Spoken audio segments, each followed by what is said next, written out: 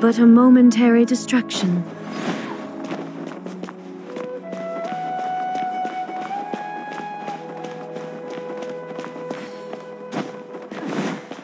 Is it possible to install a vision on a mechanical